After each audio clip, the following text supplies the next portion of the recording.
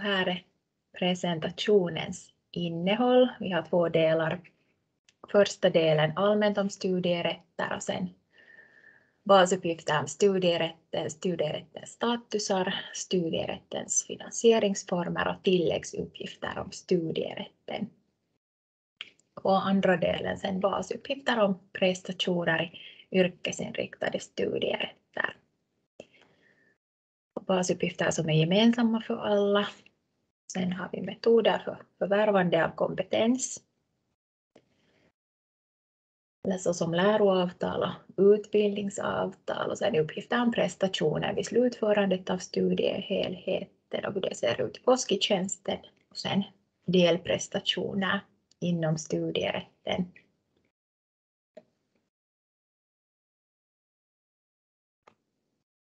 Först allmänt om studierätter. Vad är övrig yrkesutbildning?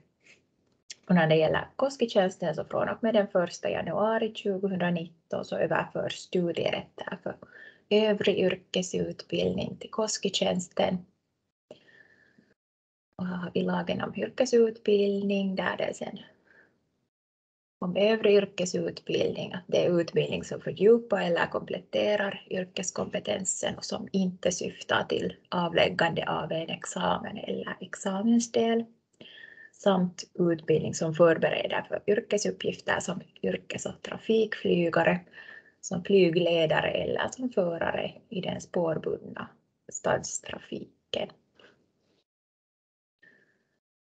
Utbildning som fördjupar eller kompletterar yrkeskompetensen ska alltid vara anknutna till de examina som anges i anordnartillståndet.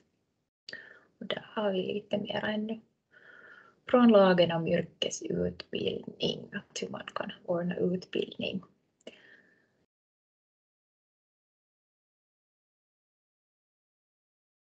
Och vad är sen övrig yrkesutbildning som lagras i Koskitjänsten?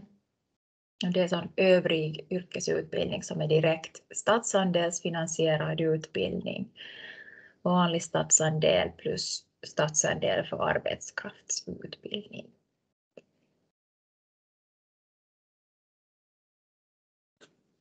Och sen har vi ju personalutbildning, men sen endast när det är fråga om utbildning som förbereder på yrkesuppgifter. Och det är alltid statsandelsfinansierad. Och sen har vi de här 16 anordnare av yrkesinriktad tilläggsutbildning som har anordnat tillstånd för övergångsperioden och som lagrat yrkesinriktad tilläggsutbildning som anordnats efter den 1 januari 2019 som övrig yrkesutbildning i Koskitjänsten. Och den här övergångsperioden har nu slutat sen i slutet av förra året, 2021. Och sen också sån personalutbildning, att om det är fråga om arbetskraftsutbildning, och det är då också statsandelsfinansierad utbildning, som lagras i Koskitjänsten.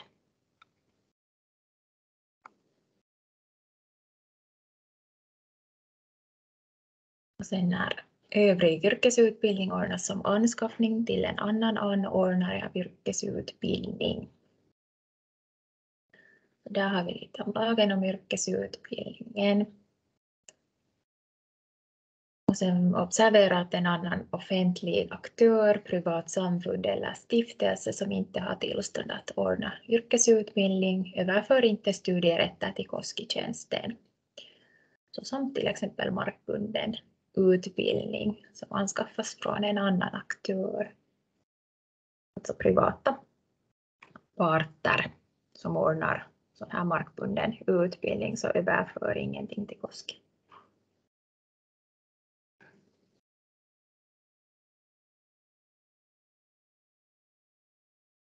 Och övrig yrkesutbildning eller utbildning inom det fria bildningsarbetet. Utbildningar inom fritt bildningsarbete regleras av lagen om fritt bildningsarbete och sen övrig yrkesutbildning så regleras av lagen om yrkesutbildning. Och läropliktsutbildningar inom fritt bildningsarbete lagras i Koskitjänsten från och med, med den 1 augusti 2021. och sen fritt inriktade utbildningar inom fritt bildningsarbete lagras genom läroanstaltens huvudmans beslut och den studerandes samtycke från och med den 1 augusti 2021. Sen om utbildningsanordnaren har anordnartillstånd för både yrkesutbildning och fritt bildningsarbete så då är det på utbildningsanordnares ansvar att veta vilken utbildning som ordnas i enlighet med vilken föreskrift.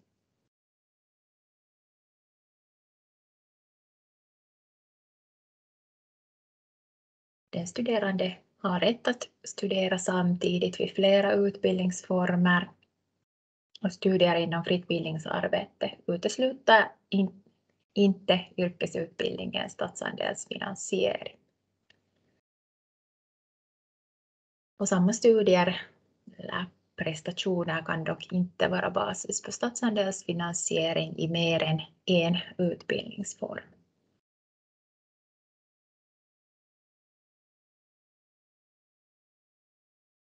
Sen vad övrig yrkesutbildning inte kan vara företagsekonomisk verksamhet. 100 procent av utbildningskostnaderna uppbärs av studeranden. Övrig yrkesutbildning är bunden av undervisnings och kulturministeriets förordning om grunderna för avgifter som tas ut av studerande. det kan inte heller vara anpassade avgiftsbelagda utbildningar för till exempel företag eller sen utbildningar som finansieras av näringstrafik och miljöcentraler eller sen motsvarande offentliga aktörer. Men faktiskt undantagen är de tidigare nämnda utbildningen som ordnas som anskaffning där en anordnare av yrkesutbildning köper in utbildning för att det är fråga om utvidgat läroavtal.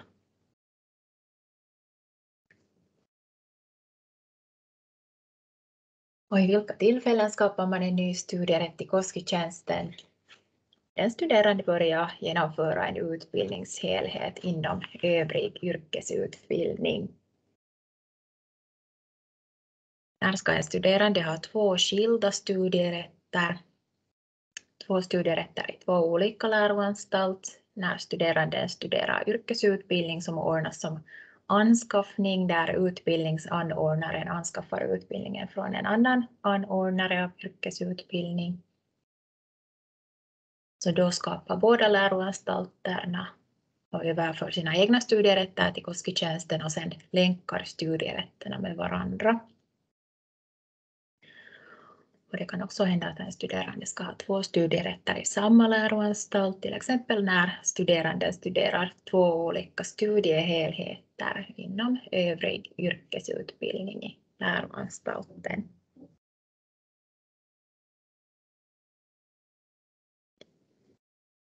Det skulle till exempel kunna vara att studerar vi utbildning inom hudvården och sen, sen också utbildning inom bilbranschen och de är ju helt olika. Så då ska studeranden ha sen två, två skilda studierätter. Här avslutar man en studierätt och skapar en ny studierätt. KOSKI-tjänsten är en permanent informationsresurs för avslutade studierätter, så det betyder att avslutade studierätter raderas inte utan alla studierätter som förts in i Koski endast sen avslutas så att de inte mera hänger kvar som närvarande. Och en ny studierätt skapas när studierätten har slutförts genom utexaminering och den studerande återkommer för att avlägga nya studier. Där måste man alltid skapa en ny studierätt. Man kan inte fortsätta med en sån som har redan avslutat eller avslutats. Eller sen om studierätten har avslutats genom att den studerande anses utskriven och den studerande återkommer senare för att avlägga samma eller andra studier. Så då ska man också alltid skapa en ny studierätt.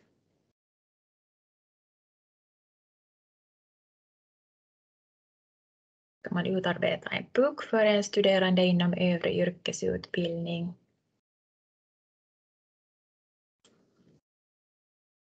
Och det där, enligt lagen så om övrig yrkesutbildning ordnas som läroavtal eller utbildningsavtal så utarbetas en PUC.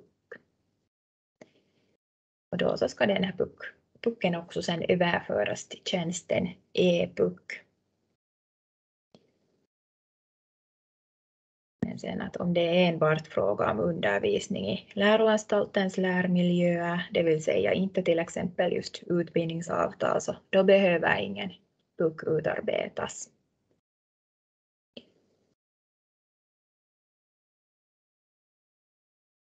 Basuppgifter om studierätten, studierättens status, principer. För studierättens status så anges ju alltid startdatumet, det vill säga det datum då statusen började.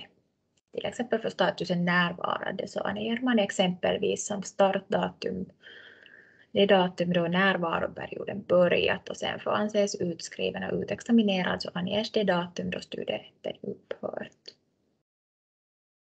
Det vill säga man överför ju endast startdatumet för varje status, inte avslutningsdatumet i Koski, utan sen när man för sen följande status och den avslutar sen den tidigare statusen automatiskt.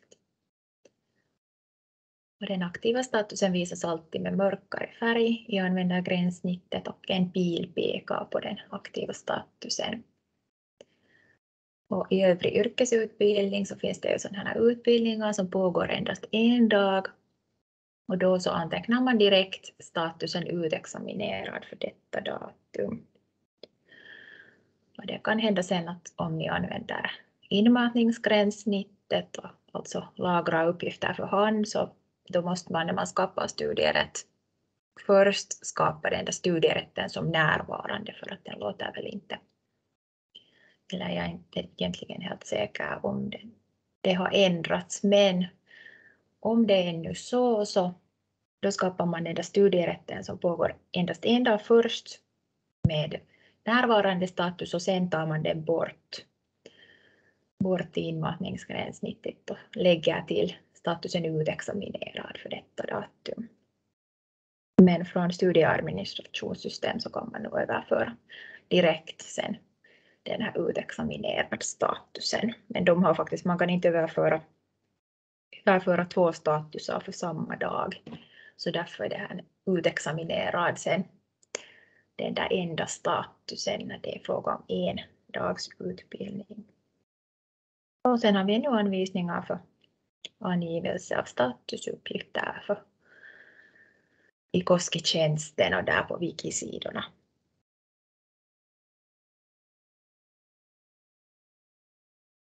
studierättens aktiva statusar för yrkesinriktad utbildning, närvarande semester och tillfälligt avbruten. Närvarande betyder att den studerande studierätt är aktiv och den studerande förvärvar kunskaper eller utför prestationer. Och semester är semesterperioder som utbildningsanordnaren fattat beslut om som varar i över 28 dagar. Och tillfälligt avbruten betyder att den studerande har sökt och beviljats ett tillfälligt avbrott eller den studerande har avstängts för en viss tid eller den studerande har avhållits från studierna för en viss tid. Om det står det också mera sen om i lagen om yrkesutbildning.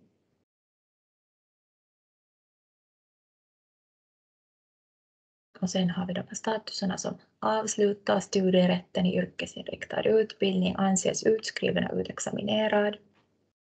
Anses utskriven betyder att studierätten upphör så att den studerande inte får färdigt den utbildning som den studerande genomfört. Utexaminerad betyder att den studerande har avlagt utbildningen. Observera att varje studierätt ska i något skede avslutas med antingen utexaminerad eller anses utskriven. Och ingen studierätt får bli kvar i läget närvarande. Och avslutade studierätter kan inte heller annulleras, utan annullering används endast om en studierätt som aldrig funnits har överförts. Det vill säga om det till exempel. Uppgifterna är så, så fel i den där studierätten att, att det inte går att korrigera den eller sen. Man har till exempel i misstag överfört en studierätt till fel studerande eller någon annan sån där orsak. Så då måste man annullera studierätten och sen skapa en ny studierätt med rätt uppgifter. Och sen om kortvariga övriga. Om det där övriga yrkesutbildningen varar endast en dag så då har studierätten faktiskt endast en status och då är det utexaminerad.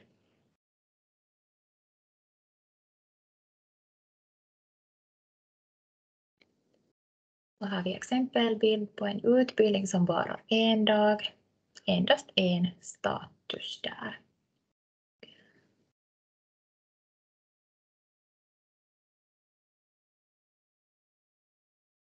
Finansieringsformer som anges i anslutning till statusen. Först allmänt om finansieringsformerna. I samband med statusen av närvarande semester och utexaminerad för studierätten ska information om finansieringsformen anges efter statusen. Inom yrkesutbildningen används kodvärdena från koduppsättningen för finansieringsform.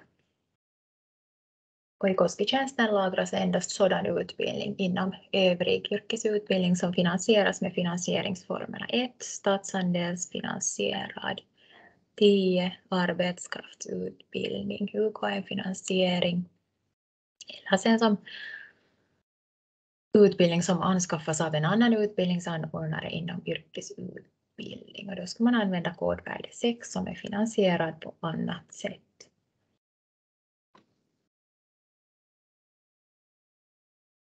Statsandelsfinansierad, kod 1 och kod 10.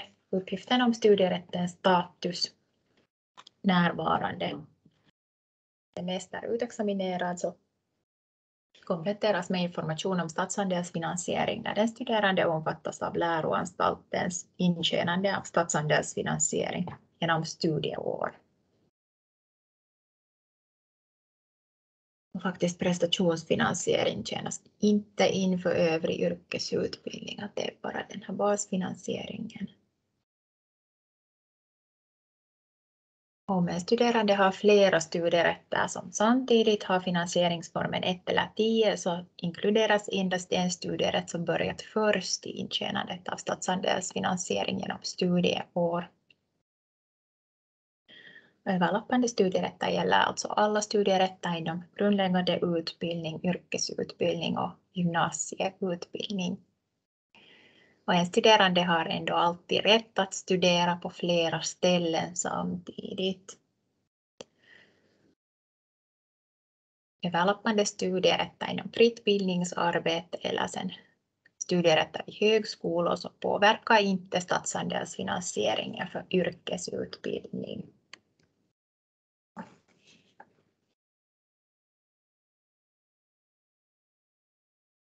Finansierad på annat sätt, kod 6.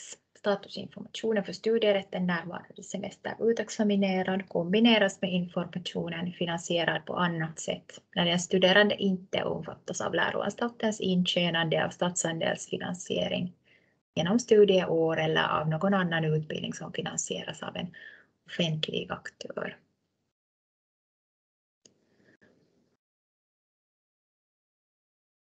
Eller om det eller när det är fråga om utbildning som ordnats som anskaffning åt en annan utbildningsanordnare.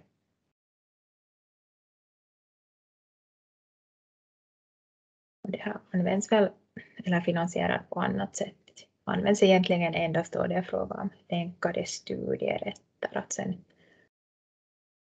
andra studierätter så skulle inte överföras till KOSKI.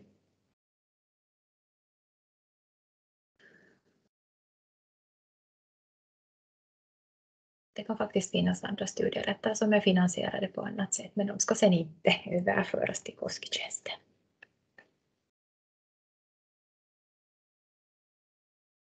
Tilläggsuppgifter om studierätten i ett nötskal. Det primära användningssyftet är beräkning och statistikföring eller beräkning av statsandelsfinansiering och sen statistikföring. Och en del tilläggsuppgifter om studierätten är särskilda personuppgifter som inte visas för de tjänstemän som saknar rätt att se känsliga uppgifter. Och informationstypen är i allmänhet en tidsperiod, start och slutdatum, ett sanningsvärde, ja eller nej, eller en hänvisning till en koduppsättning. Och för uppgifter som anges som tidsperioder behöver man inte flytta slutdatumet om förmåns eller stödformsperioden i fråga fortsätter i oförändrad form fram till studierättens slut.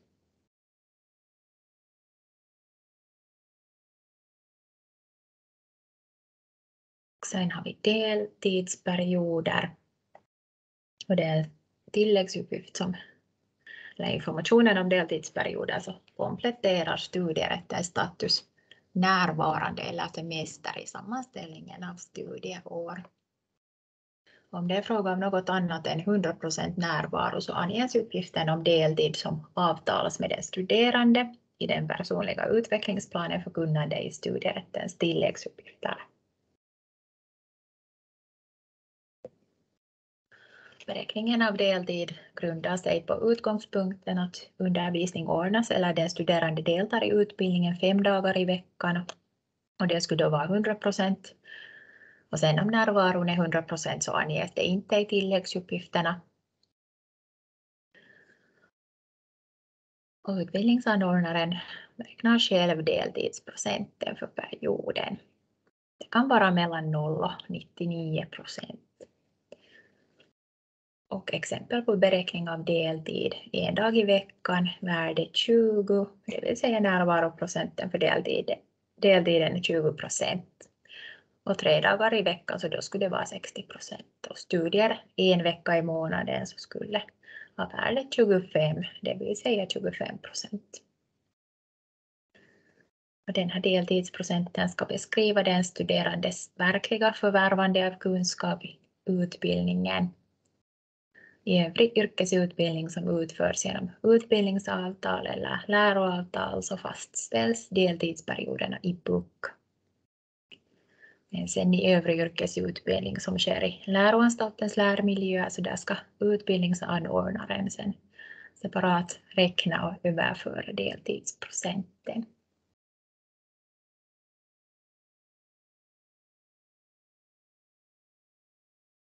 Och sen om den studerande inte förvärvar kunskap, men det är inte fråga om ett tillfälligt avbrott, så avtalar man i PUK om deltid på 0 procent. Till exempel en annan sysselsättning under studierätten, under vilken den studerande inte framskrider i sina studier, så, eller den studerande avlägger endast yrkesprov, så förvärvar ingen kunskap, så då skulle det vara just den här deltiden på 0 procent. I sammanställningen av studieår så betraktas dagen för utexamineringen alltid som 100 procent, så deltid för utexamineringsdagen så behövs inte överföras separat till KOSKI-tjänsten. Som där i exempelbilden så den dagen för utexamineringen är alltid 100 procent oberoende av vilken deltid det har varit tidigare.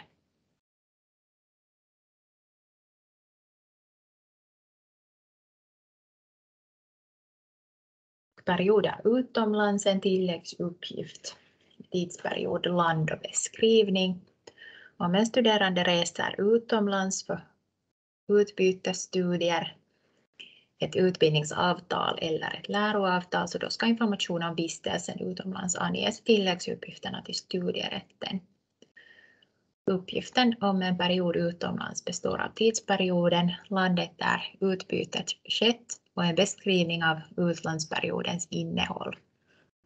Uppgifter om läroavtal eller utbildningsavtal så syns också i basuppgifterna om prestationen. Och när man för en studerande registrerar en period utomlands som anknyter till studierna så är den studerandes närvarostatus fortfarande närvarande. Som i exempelbilden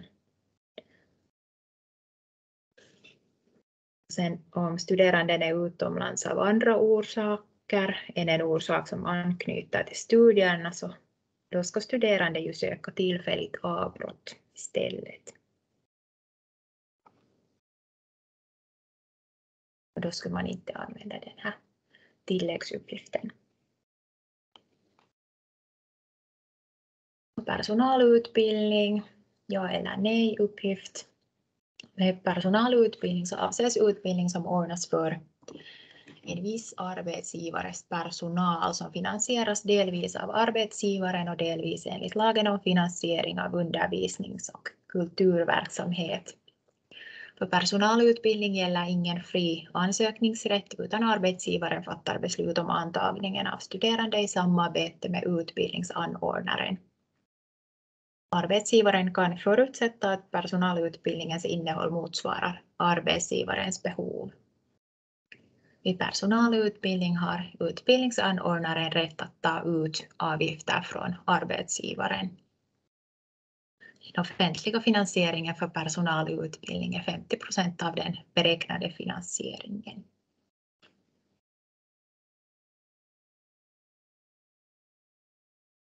Så här har vi exempelbild på det där är studierätt som är närvarande och statsandelsfinansierad och har tilläggsuppgiften personalutbildning. Ja.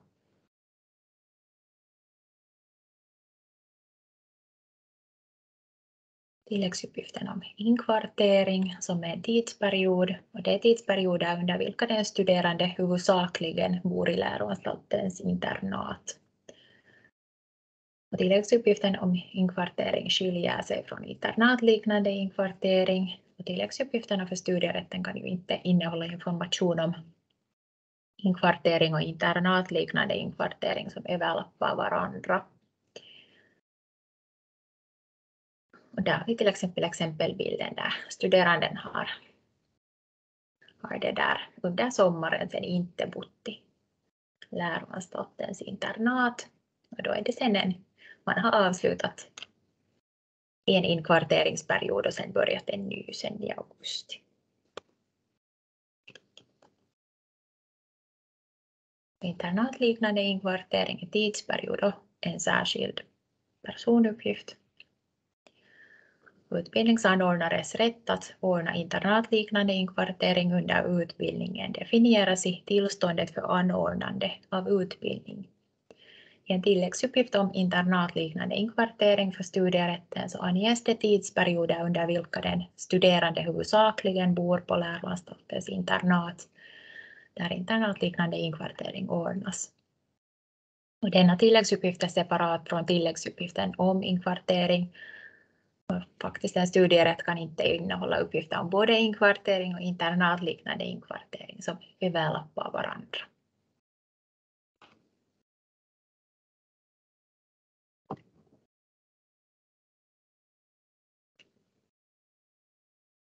Och tilläggsuppgiften i fängelseundervisning, det är en tidsperiod och särskild personuppgift. Tilläggsuppgift om fängelseundervisning anges endast av de utbildningsanordnare i vars tillstånd för anordnande av utbildning det nämns att anordnaren har rätt att ordna utbildning som fängelseundervisning. En fängelseundervisningsperiod anges när undervisning som hör till studierätten har ordnats som fängelseundervisning.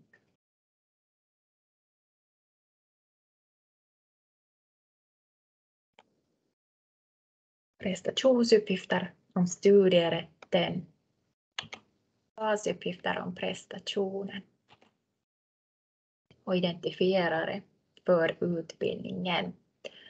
Och det kan vara antingen utbildningsanordnarens egen kod plus namn och beskrivning.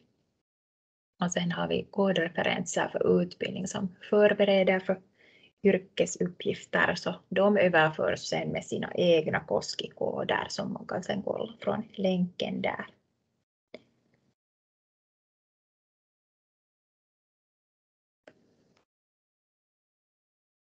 Basuppgifter som visas för alla studierätter, namnet på utbildningen och det där utbildningsanordnarens egna examenskod, utbildningens namn och beskrivning av utbildningen överförs från studieadministrationssystemet, för de är ju lokala, lokala utbildningar. Och dessutom så kan man överföra utbildningens totala omfattning.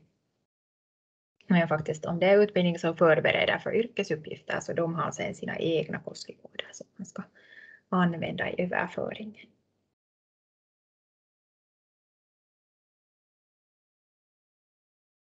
Och där har vi exempelbilden omfattningen också med.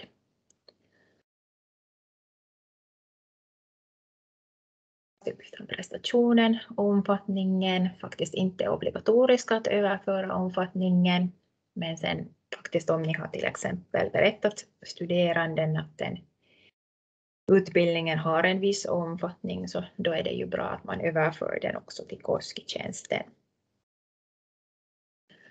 Och I utbildning som fördjupar eller kompletterar yrkeskompetensen så är det faktiskt avsikten in, att inte använda kompetenspoäng utan utbildningarnas omfattning ska beskrivas på andra sätt, i första hand genom utbildningens längd. Och där har vi också sida för de här tillåtna omfattningarna för delprestationer. Och sen om ni har eller använder, använder andra omfattningar så ni kan kontakta vår serviceadress koskiatopintopolku.fi så läggs omfattningarna till Kodverket. Sen kan ni överföra de omfattningarna som ni vill.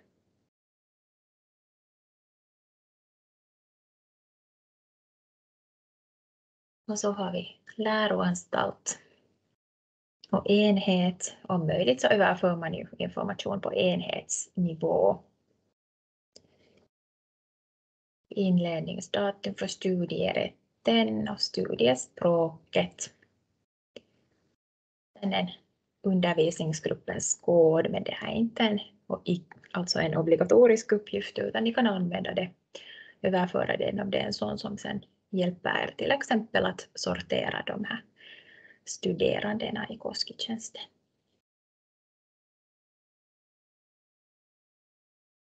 Och sen prestationens status är prestationen icke slutförd tills studierätten avslutas med statusen utexaminerad.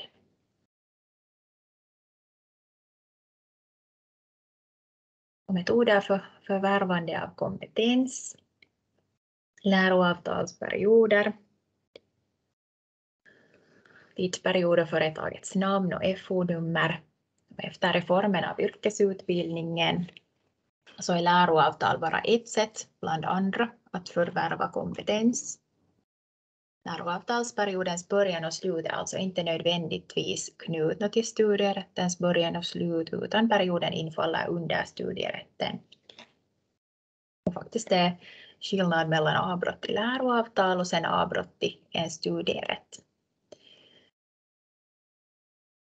Och läroavtalsperioder kan finnas i KOSKI-tjänsten och det ska motsvara det faktiska arbetet på läroavtalsplatsen för ett avtal så kan alltså flera perioder anges i KOSKI. Sen om inget slutdatum har angetts för läroavtalsperioden så antas, antas den vara i kraft till studierättens slutdatum. Om läroavtalet avslutas som avtalat så överförs endast slutdatumet till tidsperioden enligt de normala rutinerna. Och sen om läroavtalet har hävts så överförs uppgifter om hävningen av läroavtalet.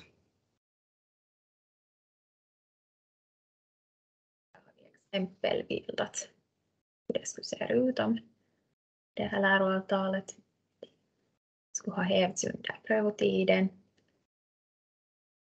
Här står nej. Men faktiskt de här uppgifterna visas endast om läroavtalet har hävts.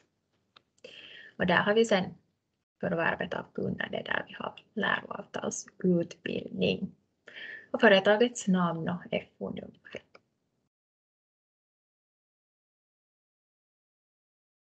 Utbildningsavtal, det är tidsperiod och företagets namn och FO-nummer och sen också ort och land och beskrivning av arbetsuppgifterna. Företagsnamnet ska ju motsvara det verksamhetsställe där lärandet i arbetet de facto sker. Och sen om inget slutdatum har angetts för utbildningsavtalsperioden så antas den vara i kraft till studierättens slutdatum. Och när utbildningsavtalet avslutas så överförs slutdatumet till tidsperioden.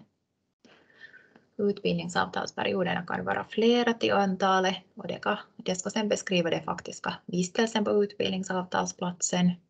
Det vill säga det är inte nödvändigtvis samma datum som i själva avtalet utan det är den där faktiska vistelsen på utbildningsavtalsplatsen som ska synas i KUSK. Utbildningsavtal har ingen fastställd minimiarbetstid som den studerande tillbringar på arbetsplatsen. Men alltså utbildningsavtalsperioden är i kraft om den studerande vistas på arbetsplatsen varje vecka. Och genom de uppgifter som registreras i Koskitjänsten så följer man inte upp till vilken del den studerande under utbildningsavtalet förvärvar kompetens på utbildningsavtalsplatsen respektive vid läroanstalten. Detta avtalas i den studerandes PUK och sen anges i datainnehållet i e-bok. Utbildningsavtalsperioderna kan vara flera och det ska motsvara det faktiska lärandet på utbildningsavtalsplatsen. Så samma princip som för läroavtalet, att ett utbildningsavtal så kan också flera perioder anges i Koskitjänsten om den studerande exempelvis endast är i läroanstaltens lärmiljö under flera veckor.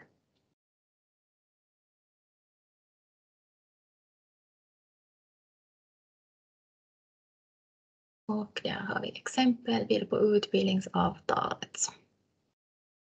Uppgifter. Med plats för inlärning i arbetet, alltså det där arbetsplatsens namn och sen FO-nummer, ort, land och arbetsuppgifternas beskrivning.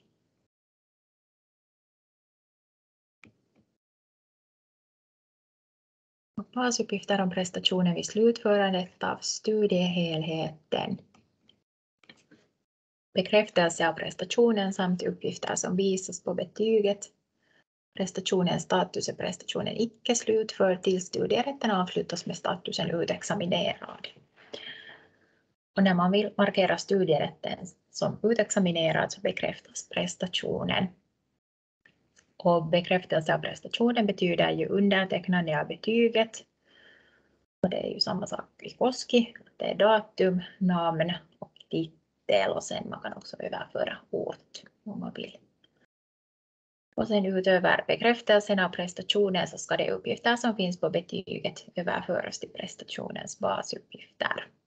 Som tilläggsuppgifter som eventuellt syns på betyget.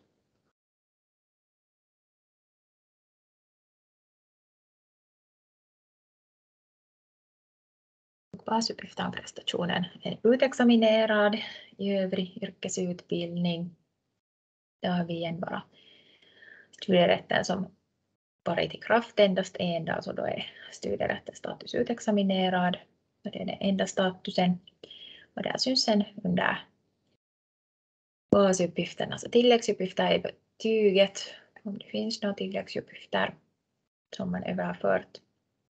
Och sen har vi prestationen slutförd med faktiskt undertecknande av betyget.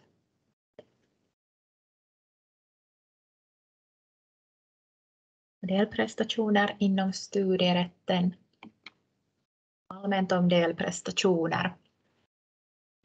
Om namnet och beskrivningen av övrig yrkesutbildning är tillräckligt beskrivande och den övriga yrkesutbildningen inte består av flera delprestationer så är det inte obligatoriskt att överföra delprestationer för övrig yrkesutbildning. Uppgifter om delprestationer överförs till KOSKI-tjänsten först när delprestationen avlagts med godkänt resultat. Så man överför inte uppgifter om underkända yrkesprov eller underkända delprestationer. Delprestationer i övrig yrkesutbildning kan vara delprestation inom övrig yrkesutbildning och då är det alltid lokal utbildning eller delprestation och en helhet som är mindre än en examensdel betyder att mål för kunnande eller krav på yrkesskicklighet i någon examensdel. Namnen och koden är lokala men sen den ska ha koppling till, koppling till riksomfattande examensdel. Det ska man sen ange.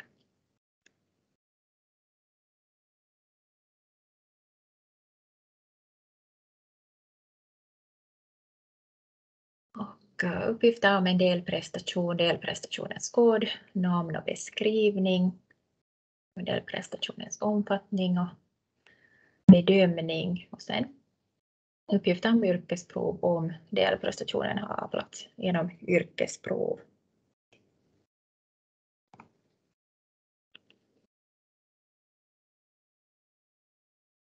Och en delprestation som överförts som lokal kan ha vilken kod som helst som utbildningsanordnaren själv valt.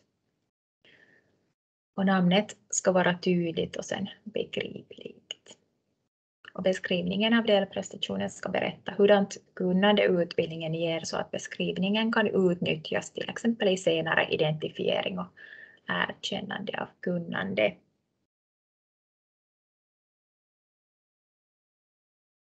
Och faktiskt uppgifternas syfte är ju särskilt det att studeranden kan ha nytta av dem.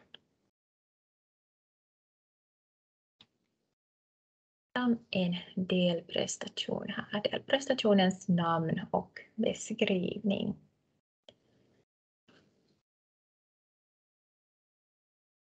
Där syns den.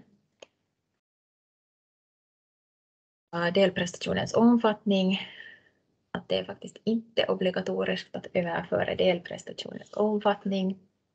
Utbildning som fördjupar eller kompletterar yrkeskompetensen så är det inte meningen att använda kompetenspoäng utan utbildningarnas omfattning ska beskrivas på andra sätt, i första hand med utbildningens längd.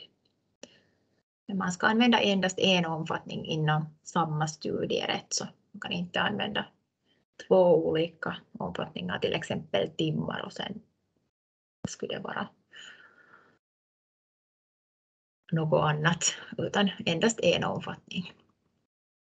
Och vi har det där omfattningar som är tillåtna för delprestationer där på sidan.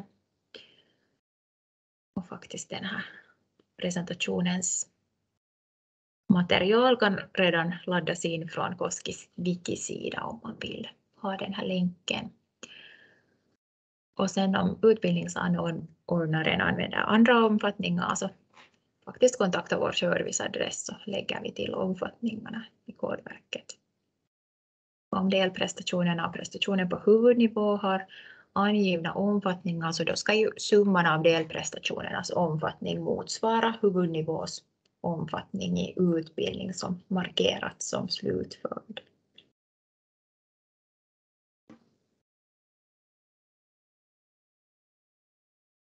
Och då har vi uppgifter om delprestationen där man har överfört omfattningen i timmar.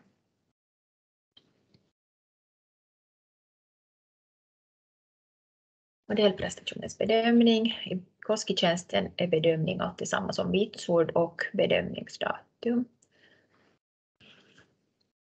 Utbildningsanordnaren får fritt välja bedömningsskalan vid överföring till Koski-tjänsten så används bedömningsskala för yrkesutbildning. Där kan man också kolla Koskis bedömningsskala för övrig yrkesutbildning. Om utbildningsanordnaren använder egna vitsord så, som inte finns i de här, den här bedömningsskalan så kontakta igen vår serviceadress så lägger vi till vitsorden till denna bedömningsskala.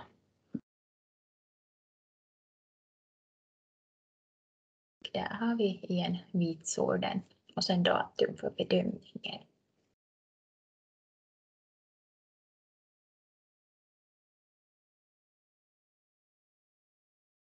Uppgifter om yrkesprovet. Om en delprestation har avlagts genom ett yrkesprov så då ska uppgifter om yrkesprovet överföras till Koski. Beskrivning av yrkesprovet, prestationsplats, kan vara läroanstalt, arbetsplats eller båda och sen prestationsplatsens namn. Och sen uppgifter om bedömningen av yrkesprovet som vitsord, datum för bedömningen och personer som fattat beslut om bedömningen.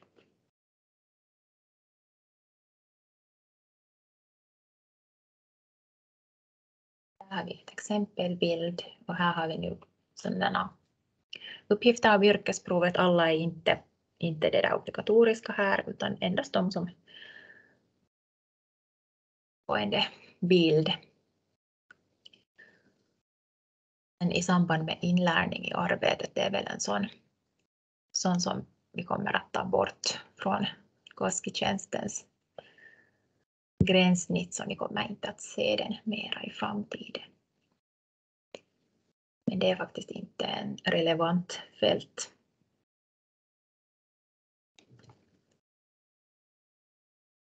Och så har vi uppgifter om delprestationen när det är fråga om en helhet som är mindre än en examensdel. Och där har vi nu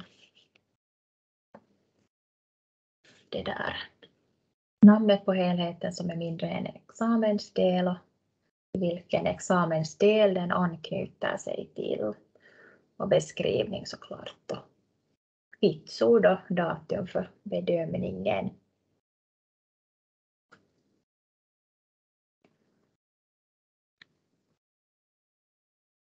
Det var allt för presentationen.